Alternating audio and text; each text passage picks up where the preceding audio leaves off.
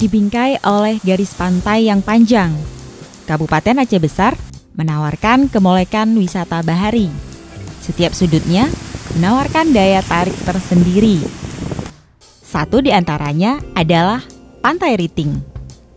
Jauh dari gempita wisata digital yang kini tengah digandrungi, Pantai Riting cocok buat Anda yang ingin berwisata namun sekaligus membutuhkan privasi.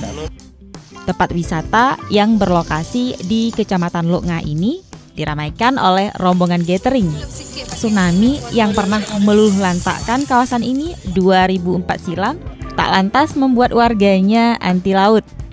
Meskipun berada di garis pantai yang sama dengan tetangganya Pantai Lampu namun Pantai Riting berpasir hitam. Ini terpantul dari air lautnya yang berombak tenang. Deretan pohon cemara membagari bibir pantai. Di bawahnya, hamparan rumput hijau layaknya permadani alam. Sementara tebing dan batu karang berdiri gagah di kejauhan. Karena tempatnya yang tak setenar tetangganya Pantai Lampu dan Loknga, Pantai Riting cocok untuk Anda yang ingin mengadakan reuni ataupun gathering. Suasananya yang tenang dan jauh dari keramaian memungkinkan pengunjung untuk quality time. Menggelar piknik di tengah alam terbuka menjadi pilihan menyenangkan.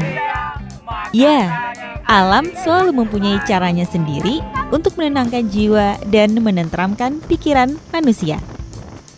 Dari Janto, Nurul Hayati, Serambi, on TV.